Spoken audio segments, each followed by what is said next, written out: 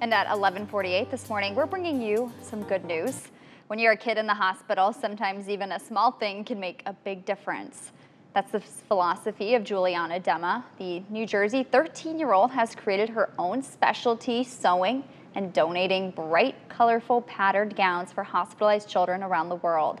It started in 2017 when Dema's cousin was admitted to a pediatric unit and the teen didn't like the drab gown. As she developed her sewing skills, she decided to make cheerful hospital gowns for other kids for free. So these really brighten up, you know, what the experience, what we're what you're going through, what parents are going through is just no one should have to go through it, but at least some kind of cheer and they personalize it to what the like each child likes. Dema says she wants children to know that they're loved. And what a great project that she's doing.